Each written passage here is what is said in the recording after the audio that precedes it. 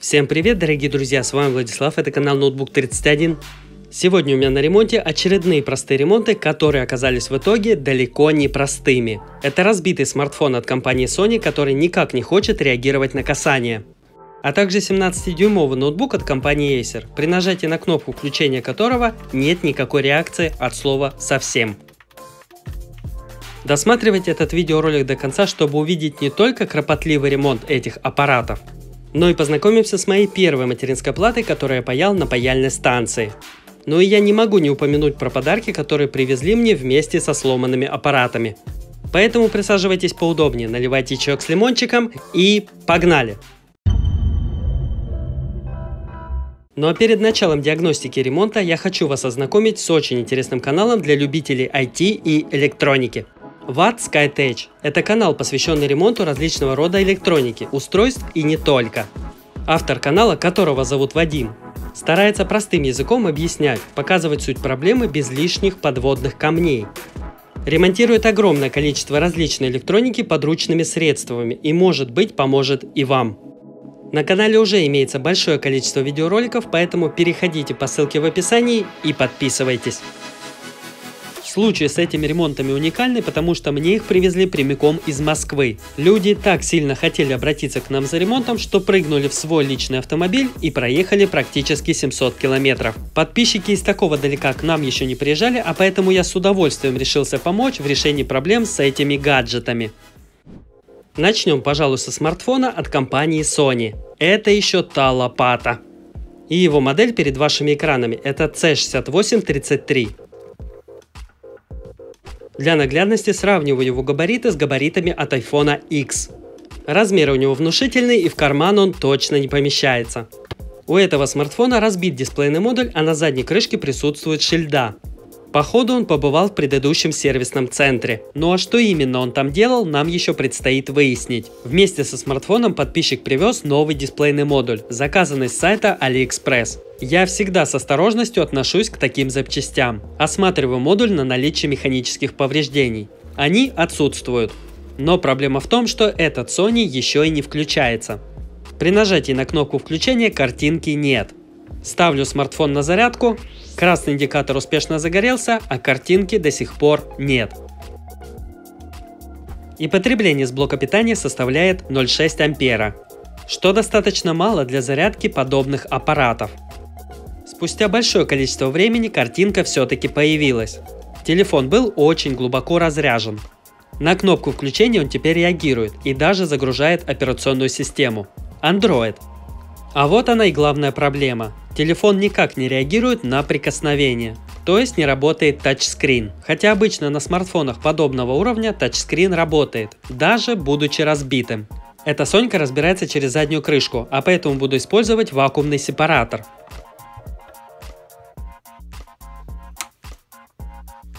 Нагреваю до температуры 70 градусов и с помощью присоски, пленочки и чистого спирта пробую снимать.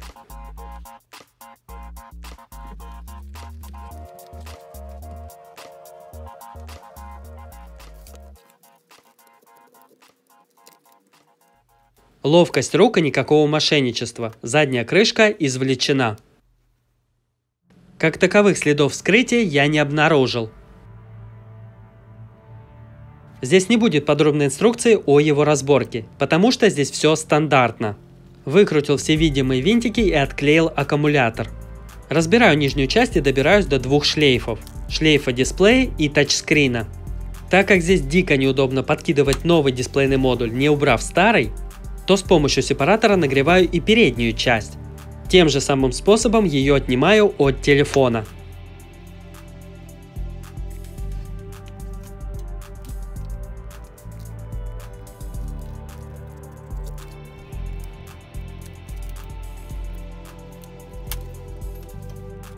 В нижней части остались остатки разбитого стекла.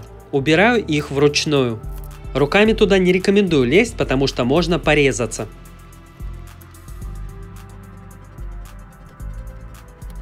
Попутно очищаю рамку от стекла и грязи.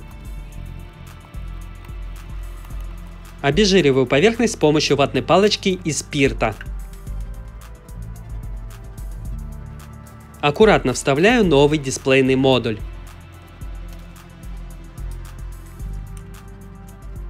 Защелкиваю оба коннектора и проверяем работу.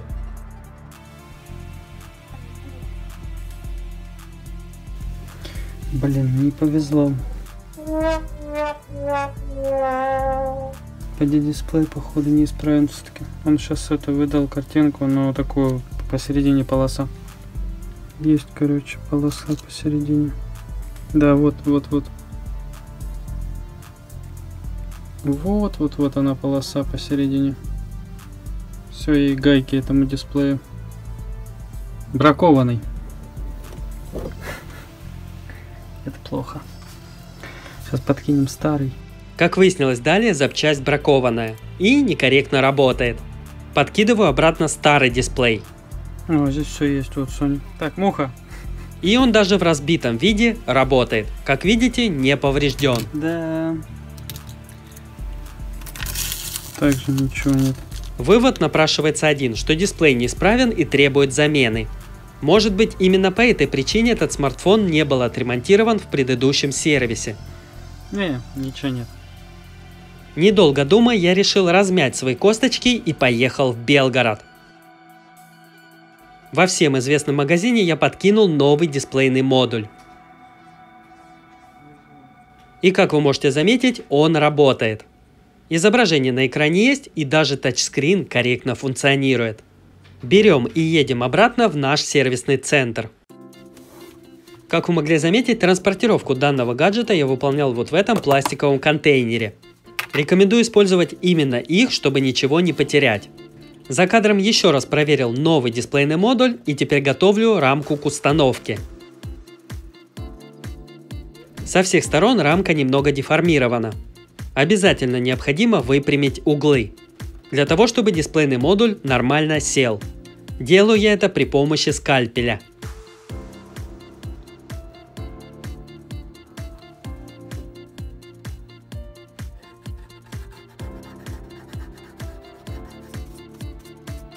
В качестве проклейки буду использовать клей B7000. Он прекрасно справляется с данной задачей. Использую его не первый год и всем рекомендую.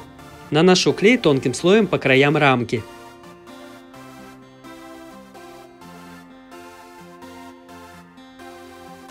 Вставляю дисплей вместе с тачскрином на свое законное место.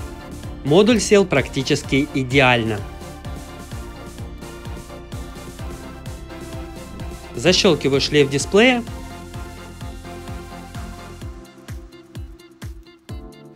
А затем тачскрина. Собираю смартфон в обратной последовательности. Перед закрытием задней крышки еще раз включаю смартфон и проверяю работу. Работает, а значит осталась самая малость.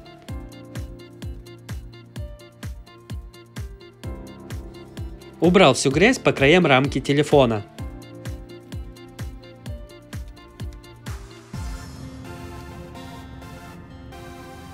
Аналогичную работу провожу с задней крышкой. Наклеиваю оригинальный тремовский скотч по краям крышки.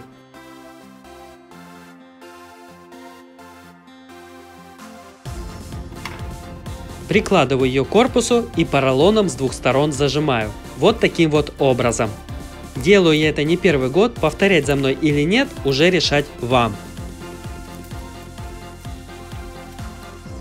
Прошло примерно 8 часов. Телефон успешно заклеился и осталось убрать только излишки клея. Они неизбежно вылезают. Ну а эта Сонька успешно отремонтирована и стоимость такой работы составляет 1000 рублей. Ну а мы переходим к подаркам от подписчика. Не могу не поблагодарить Олега и Аллу, а именно они привезли мне в подарок все это добро. Это матрица и части корпусов от ноутбуков, а также мелочевка, которая находится за кадром. Целиковый ноутбук от компании MSI, а также его младший брат – нетбук от компании Aero. С нетбуком возникла у меня одна интересная идея – мы его уже восстановили и на этапе разборки я обнаружил, что он поддерживает сим-карту. Но только слот под сим-карту и коннектор под 3G модуль отсутствуют. Следовательно, у меня вопрос. Если мы допаяем все это дело и заставим работать, будет ли вам это интересно? Напишите, пожалуйста, в комментариях, мне будет очень интересно почитать. А мы переходим к следующему и самому главному ремонту. На ремонте у меня ноутбук от компании Acer Aspire 7520G. Тот самый из вашего глубокого детства или юношества. Итак, сегодня на ремонте древнющий динозавр. Но все-таки былое качество. Acer. 17-дюймовый. Просто древний, с желтой клавиатурой, с Вистой на борту, с GeForce 8400 внешней картой, с болезненным мостом. Просто ассорти всего, что может поломаться в этой жизни. Этому ноутбуку уже более 13 лет, и он, как видите, еще на плаву. Как вы можете заметить, на топ-кейсе присутствует круглый отпечаток от стакана. Видимо, на нем пили чаек с лимончиком. А ноутбук использовали в качестве подстаканника. Клиент попросил восстановить данный аппарат до 15 тысяч рублей. Да-да, вы не ослышались. В Москве именно эту сумму запросили. Ну и давайте посмотрим, стоило ли ехать в Чернянку за таким ремонтом или нет. Вы узнаете в конце этого ролика. Поэтому не переключайтесь. Этот ноутбук себя ведет следующим образом. На кнопку никак не реагирует, как бы я ни нажимал на нее. Но возможно, что просто разряжен аккумулятор. Давайте перейдем на ремонтный стол и подключим его к лабораторному источнику питания.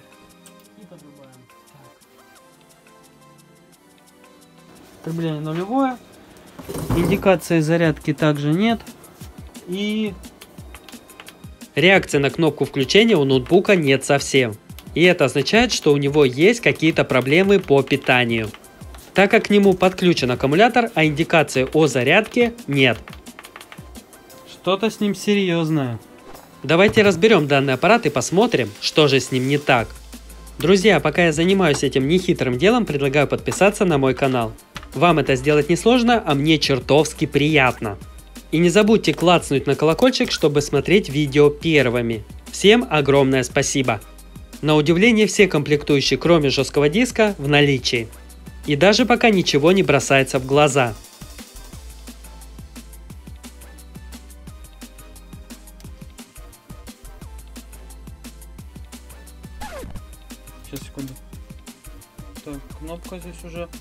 Колхозным методом паялась. Мастерство у мастера уровень бог, он паяльником владеет на 100%. В остальном защелочки все целые. Хотя нет, одна сломана. Разбираю ноутбук дальше, шаг за шагом.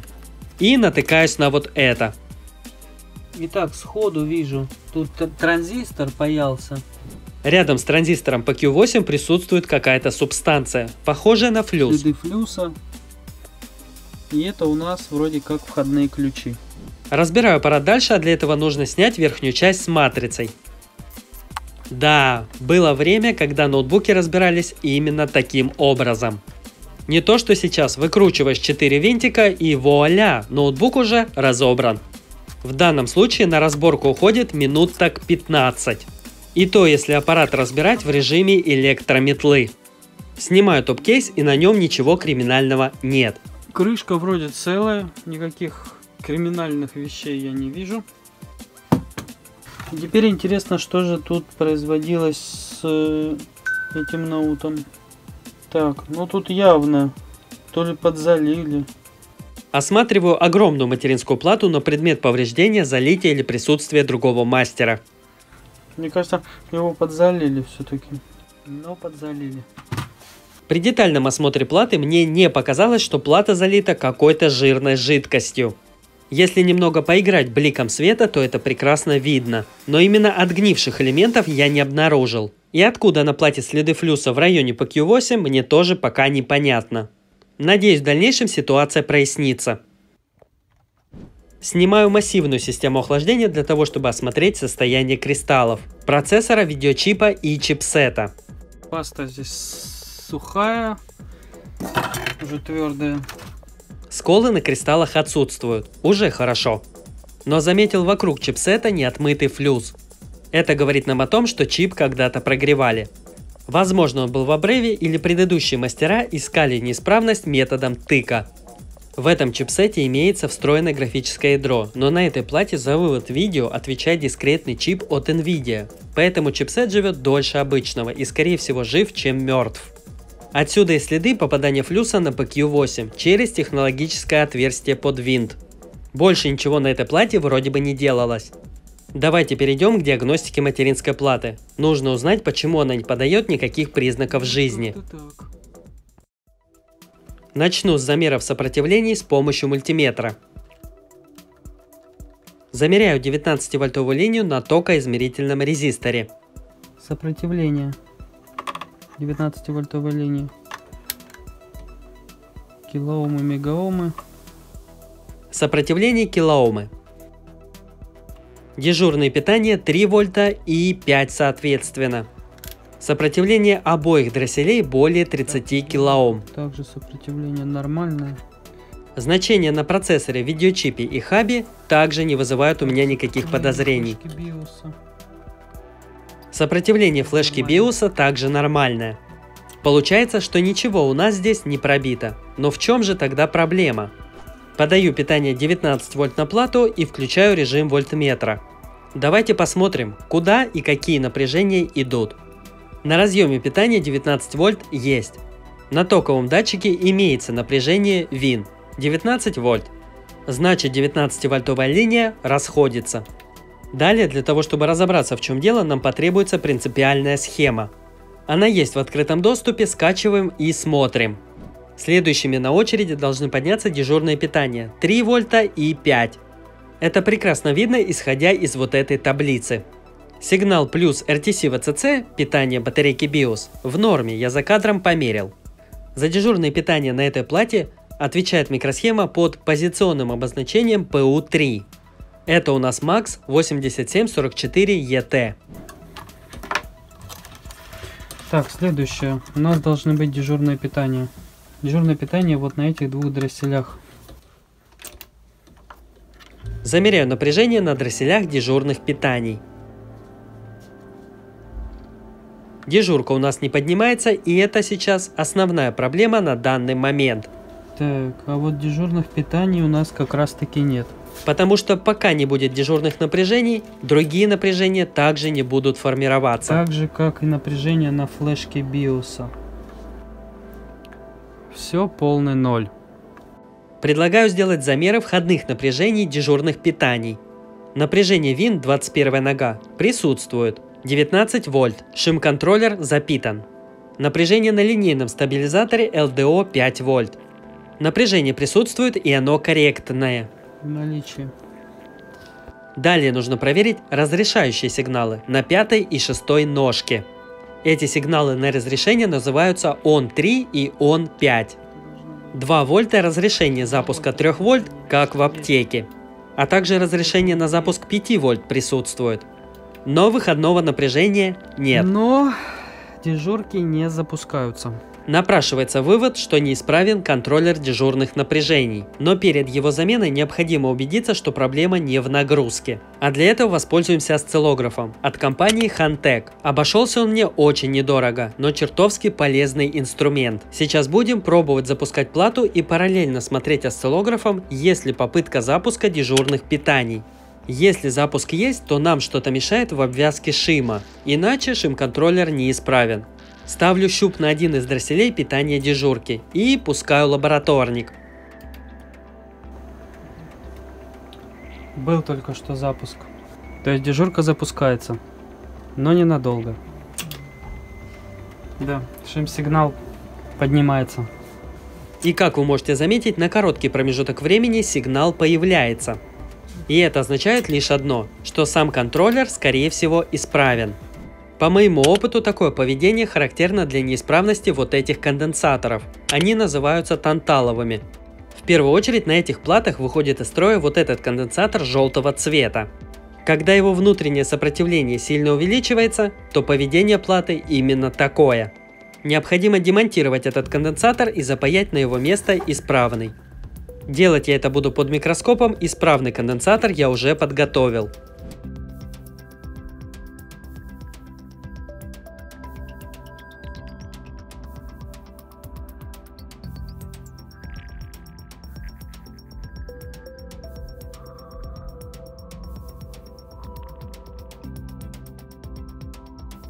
Готово, конденсатор успешно заменил.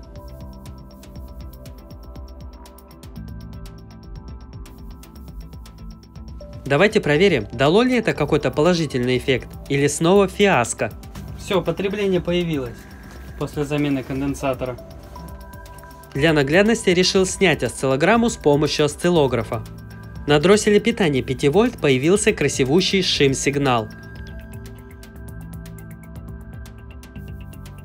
А вот 3-вольтовая линия таким рисунком похвастаться не может. Нету там шим-сигнала совсем.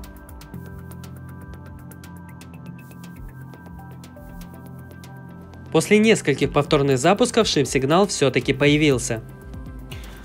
Итак, ну что, попробуем подавать питание и будет ли потребление тока. Да, плата на кнопку среагировала. Но... А, не. Еще не все. Мне кажется, что тут еще есть коси косяки какие-то. Плата теперь реагирует на кнопку включения, потребление 4 сотых ампера и на этом все. Да, 0.04 и все.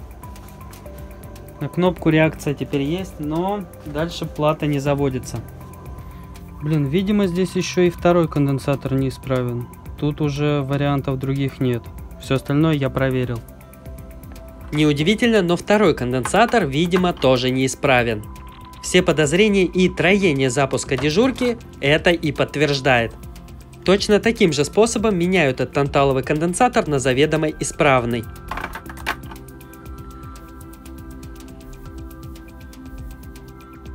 Очищаю все это дело от флюса и давайте попробуем включить. В общем, мне кажется, что оба тантала себя плохо чувствуют.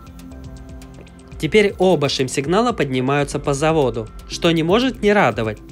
Все манипуляции и диагностика увенчались успехом. Здесь стабильно. Давай еще раз включаем. Есть. На выходе нормальный сигнал. Есть чем сигнал на выходе. Нормальный сигнал. И дежурка теперь не пропадает. Все, есть. Нажимаем на кнопку и все. Запуск пошел чтобы не перегрелось ничего. Выключаем. Теперь можно подсобрать. На кнопку реакция теперь есть и проблема устранена. По крайней мере с запуском. Наверняка вам интересно, а что же с этими танталовыми конденсаторами? Замеряю их номинал на ESR метре. Замеряю желтый, на нем ESR завышен 0,53 Ома. Значение далеко от номинального. И черный конденсатор в цепи 3 вольт так, у черного. Ну, тоже, я так понимаю, внутреннее сопротивление должно быть больше. Также ESR завышен, но чуть меньше. В общем, явно эти конденсаторы неисправны, и я правильно их заменил. Пока я ремонтировал эту плату и искал доноров, я обнаружил вот эту материнскую плату с похожего ноутбука. И как вы уже поняли, в начале видео я говорил, что это моя первая материнская плата, которую я паял на паяльной станции. Паял я ее на так называемой грильнице с использованием термофена. Температура максимальная, поток максимальный. На тот момент я еще не знал, что нужно соблюдать определенный термоинтерфейс. Результатом является полностью вздутый BGA-чип, а также вспухший и потемневший текстолит. Плата была клиентская, но не переживайте, я ему купил новую материнскую плату и установил, конечно же бесплатно, так как за свои косяки нужно платить самому. Это было примерно 7 лет назад. Но вернемся к нашему ремонту. Созвонившись с клиентом, было принято решение сделать ему маленький апгрейд. Как всегда, будем менять процессор AMD Turion X2 TL58. Менять мы его будем на новую модель Turion X2 TL62. Характеристики процессора точно такие же, но тактовая частота на ядре на 200 МГц больше. Итак, в этом ноутбуке будет трудиться два модуля памяти. Один из них Kingston на 2 гигабайта и другая планка тоже на 2 гигабайта и производитель Elixir. Как раз таки этому ноутбуку этот производитель, а именно Elixir, не помешает. Чтобы, конечно же, не умереть в ближайшее время. А также установил 4 гигабайта оперативной памяти. Устанавливаю оба модуля памяти в свои слоты. Быстренько собираю ноутбук полностью в корпус в обратной последовательности. Не забываю нанести новый термоинтерфейс. а именно термопаста и термопрокладку. Так, термопрокладка тут задубела, ее по-любому под замену, он она сыпется.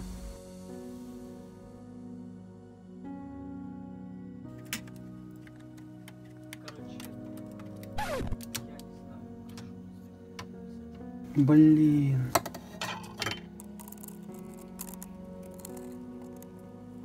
Так, ну что, проверяем. Я еще картинки не видел. Так вот о. попытался, но без охлаждения он толком не включился.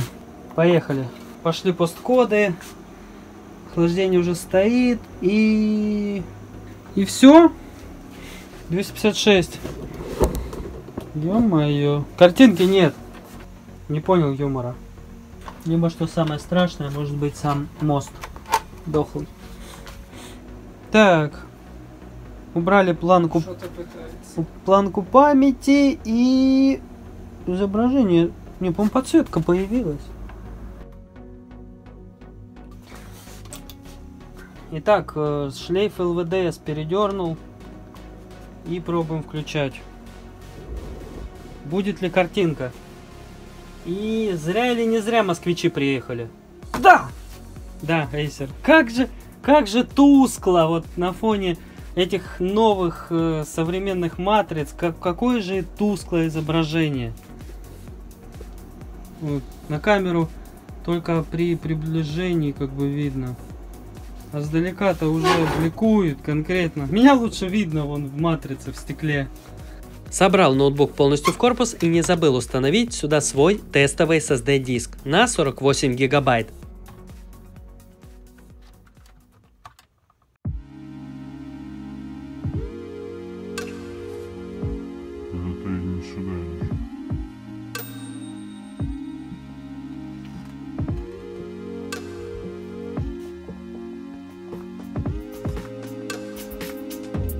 Картинка есть. Замечательно.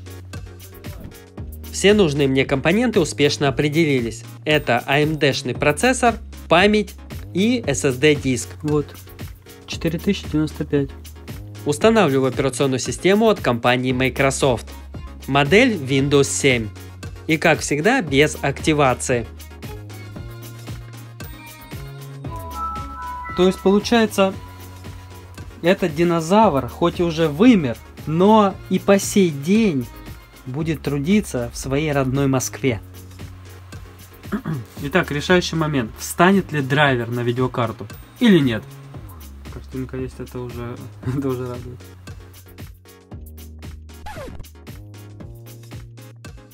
Вот зависло. Запусти меня на рабочий стол. Ё-моё, повис на самом, на самом последнем уже рубеже ремонта. Что-то здесь не так. Снова динозавр дал сбой. Валилась косточка. То есть, как только я поставил драйвер на NVIDIA, после перезагрузки больше в, на рабочий стол он не выходит.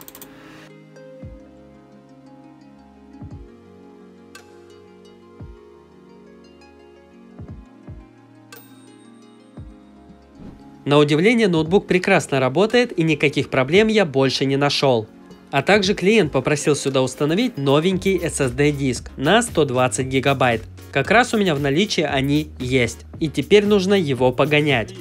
В тесте AIDA температуры в идеальном состоянии. Потестировал ноутбук несколько дней с помощью своего YouTube канала. Никаких проблем я больше не нашел. Хотя были подозрения, что неисправность таится в чипсете. Но нет. Насколько долго отработает теперь этот аппарат, гарантировать я, конечно же, не могу. Я лишь могу давать гарантию на выполненные работы, а именно на цепь дежурных питаний. По итогу я снова приобрел бесценный опыт, а также немного поностальгировал. Ну и конечно же вы хотите узнать, напрасно ли ехали клиенты ко мне или нет. Ремонт этого аппарата обошелся в 3000 российских рублей. И как вы понимаете, это гораздо меньше, чем 15 тысяч заявленных. И, к сожалению, это видео подходит к концу. Всем спасибо за просмотр. Если было интересно и полезно, то подписывайтесь на канал, ставьте лайк и пишите комментарий. Еще увидимся, но уже в следующем видео. Пока!